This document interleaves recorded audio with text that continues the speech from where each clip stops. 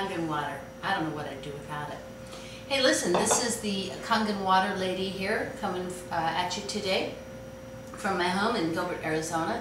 And I want to uh, show you a little test, something that I think you're going to find quite amazing.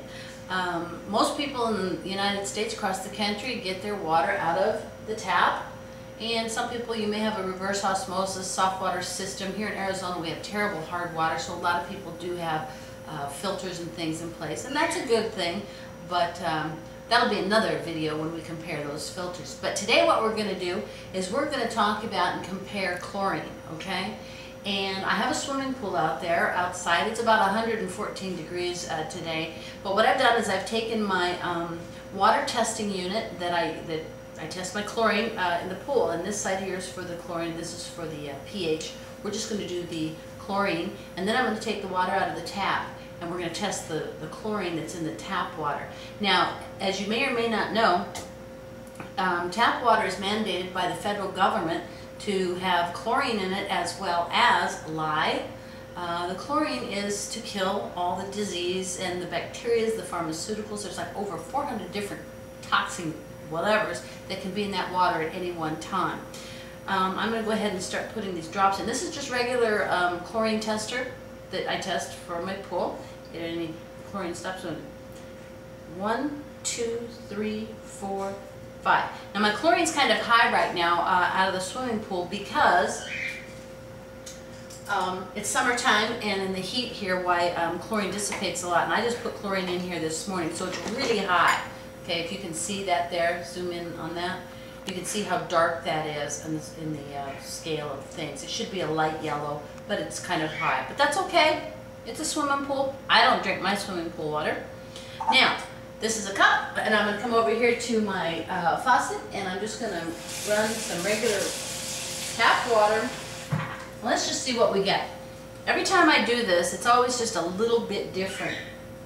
And uh, we did this a couple of weeks ago, and I didn't realize what I actually had done. We did it a couple of weeks ago, and when I put the drops in, the drops came out, came in uh, blue with no chlorine. And it dawned on me, that means there was no chlorine in the water. So some days it's heavier more than others. Some days there's no chlorine in, in it at all.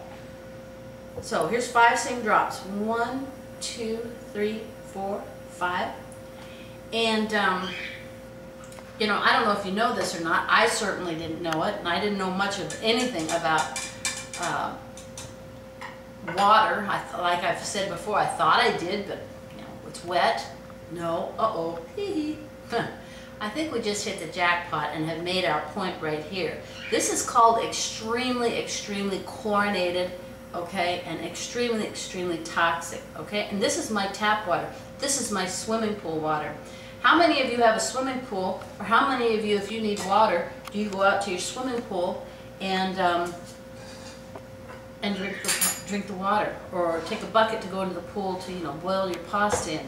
I never did that. This is an onion take this onion, I'm just going to cut it a little bit here, part of this chlorine demonstration. One of the other things that I found out um, as I've gotten to understand and learn and study about this water, because I find it just fascinating, is that uh, chlorine is uh, the number one cause of bladder cancer. Whoops, not a good thing. And I know that we all wash our, our fruits and vegetables uh, in our tap water which again is chlorine. We also bathe in it. Did you know that when you take a shower, and you're in a shower for uh, anywhere from 10 minutes or longer, that it's, a, it's the equivalent to your body absorbing eight cups of tap water. That's all chlorine water. Yikes. So anyway, here we are. I'm just cutting this orange, uh, orange onion, regular onion, and I'm going to put it in this water. Now get ready because you're not going to believe what you're going to see here. I'm putting this onion in this. This is my city water, my tap water that I uh, tested with the chlorine. Take this little swizzle and I'm just going to do this. Uh, what do we hear? About five, ten seconds here now.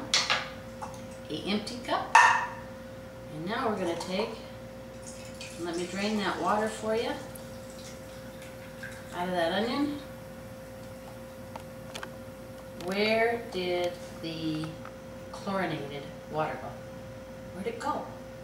it absorbed into the food. And I can do this experiment with cauliflower, with lettuce, with uh, anything, any kind of vegetable that you wash, and this is what happens. It absorbs into the food. This is not what we want. This is not a good thing. So, Kangen water, on the other hand, I'm going to take this same one and dump it. Rinse it out here. And this is my Kangen water machine, and I'm going to just put Kangen water in here. Let's test the chlorine of the Kangen water. Kangen water, 9.5, same drops.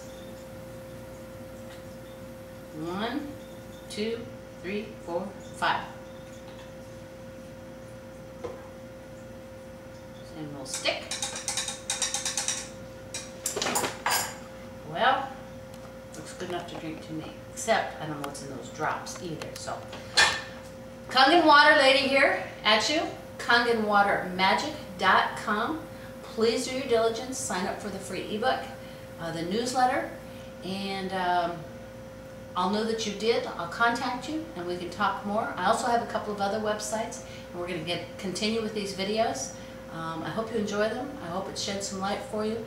And um, this is totally unacceptable. Have a wonderful day.